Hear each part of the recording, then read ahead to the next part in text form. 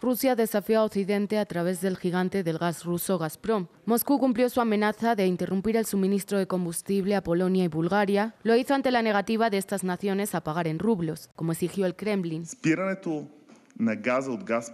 La suspensión del gas de Gazprom es una flagrante violación de su contrato y un chantaje al utilizar un plan contractual de pago en rublos a través de terceros, que no garantiza ni los suministros ni el dinero de los búlgaros.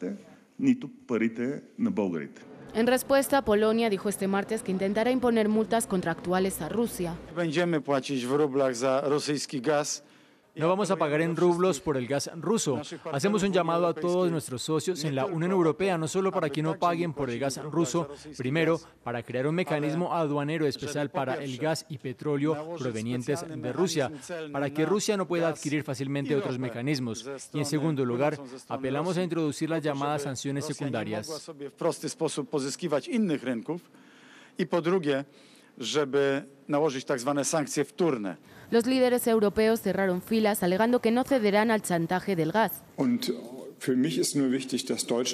Europa y Alemania pagarán en euros. Algunos países pueden hacerlo en dólares, pero no en rublos.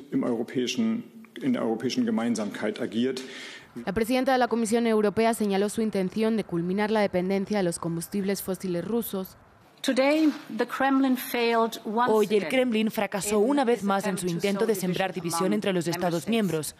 La era de los combustibles fósiles rusos está llegando a su fin en Europa.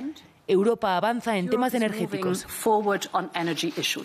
El portavoz del Kremlin, por su parte, amenaza con más cortes a futuro y culpa a las naciones europeas de medidas inamistosas contra su país, por las sanciones contra personas y empresas de Rusia y el apoyo a Kiev en la guerra de Ucrania. La necesidad de esta nueva metodología fue provocada por aquellas medidas inamistosas sin precedentes en la economía y los sectores financieros que fueron tomadas por naciones inamistosas hacia nosotros. La dependencia del gas ruso supera el 50% en 14 países del bloque europeo y Rusia es el proveedor de una veintena de naciones, por lo que en el seno de Europa preocupa que si Gazprom lleva a cabo sus amenazas se desate una crisis económica.